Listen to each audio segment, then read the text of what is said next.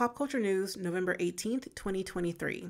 Hello, and thank you for tuning in to Pop Culture News. My name is Ebonee Walters, and this is The Tea. New York, New York. Cassie and Diddy settled their $30 million lawsuit, which was filed in federal court under New York's Adult Survivors Act, for an undisclosed amount. The bombshell lawsuit comes after Cassie allegedly threatened to shop a tell all book about her harrowing experience as Diddy's alleged kept girl. According to Cassie, born Casandra Ventura, she was a 19 year old budding singer, actress, and model when she met the 37 year old music mogul Sean Combs.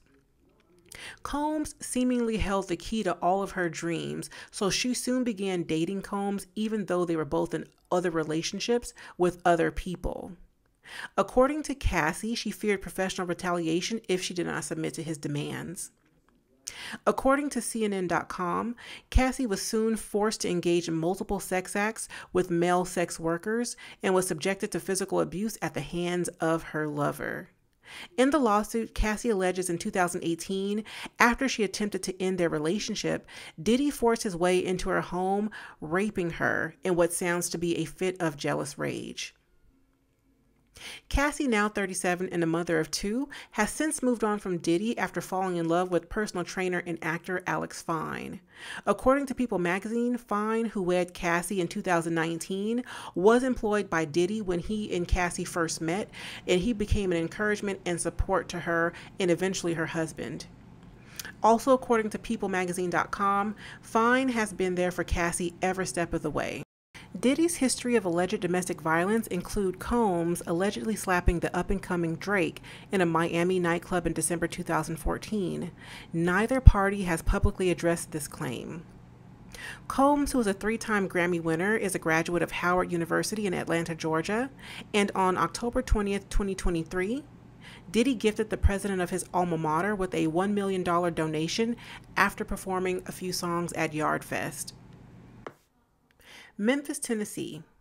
A 22 year old single mother in her final year of college at Tennessee's PA University, Tyeasha Starks, was shot and killed by 44 year old Tylus Currie of Jackson, Tennessee, her child's grandfather, during a custody exchange.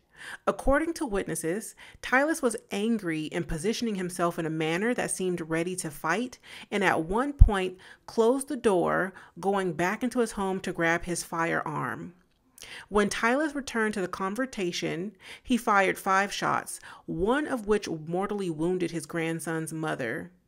According to the victim's mother, the child's father, Bryce Currie, often called Tyeasha to his home in fits of desperation over issues with caring for his son. Tyeasha asked her mother to pick the child up, but due to restrictions at her workplace, her mother could not. Tyeasha and her two friends, Nadia and Ariana, then went to the fatal meetup. To date, no arrests have been made.